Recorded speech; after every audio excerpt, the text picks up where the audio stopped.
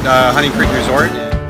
We are doing our Chef Summit, and the Chef Summit is all about team building, all about development. 16 chefs kind of going at it, using products that aren't necessarily in our kitchens all the time. Guys, waiting for the menus!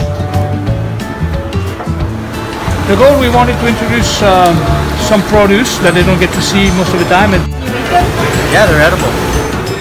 and uh, have fun. That's what the main goal. What do they got in there, huh? A little bit of this, a whole lot of that. Jalapenos right now look good. Yeah, I got I got pen and paper too. So Yeah, and I'll get my knives.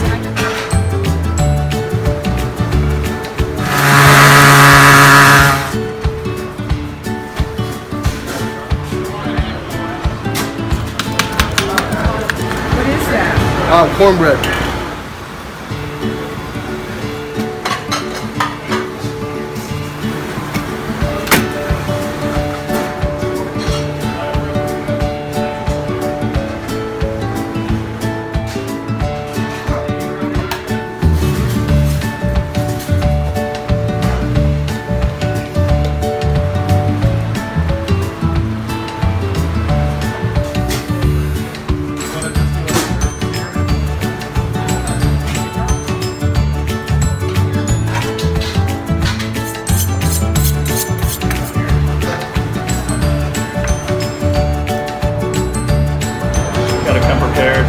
You never know what they're going to have in a kitchen when you get there.